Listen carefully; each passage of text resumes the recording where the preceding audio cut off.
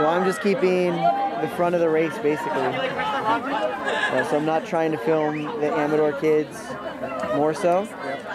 Like, because this is one that a lot of the people in the league will watch. Most of our meets they don't. So. And then just like I'll show you what I do when they come around the lap. So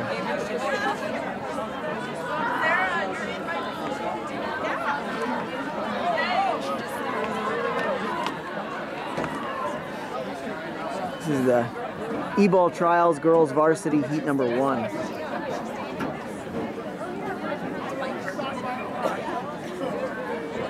So normally I name the heat before.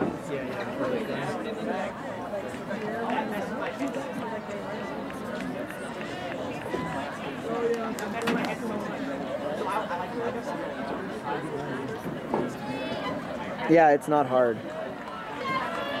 Just gotta zoom out when you come through.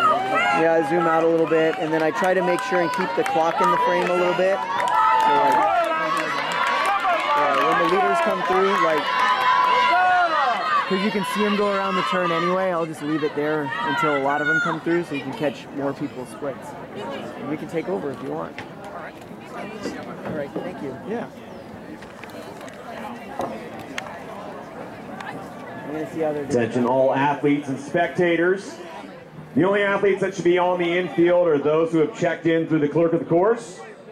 All athletes uh, should be otherwise warming up on the softball field or on the baseball field at the top outside of the entrance. The only athletes, once again, that should be on the infield are those who have checked in. All parents should be in the stands. There should be no parents on the field unless you are a volunteer at a field event. Once again, only coaches and volunteers should be on the infield, please.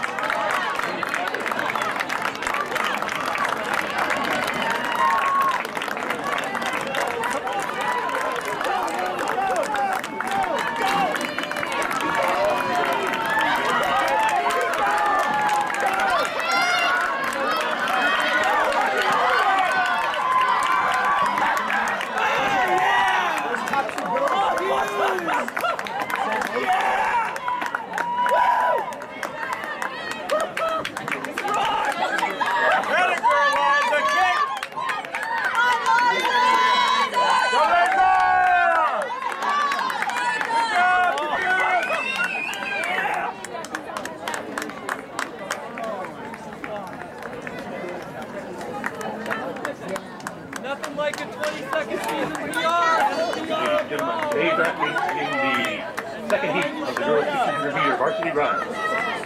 Brooke Starn, Monte Vista. Melody Larudier, Dougherty Valley. Meredith Corda, Monte Vista. Taylor Lawson, Granada. Emma Savella, San Ramon Valley. Tracy Dupuy, Granada. Morgan Dowling.